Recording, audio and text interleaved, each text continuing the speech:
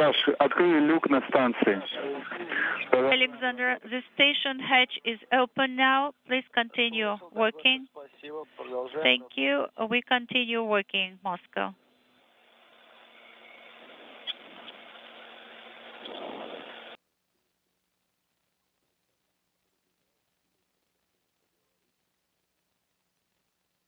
And there it is, the hatch open 12:08 a.m. Central Time, 12 or well 1:08 a.m. Eastern Time, while the station flew just 255 statute miles over Serbia.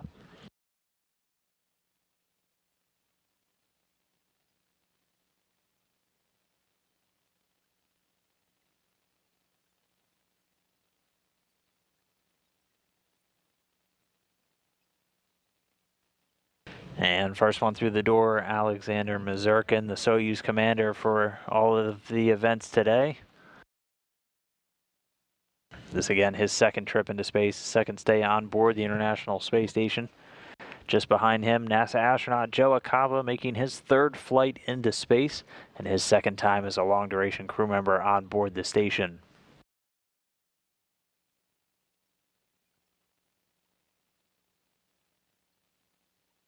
And bringing up the rear, the first timer, Mark Vande Hei, on his first space flight, making his way into the International Space Station for the very first time.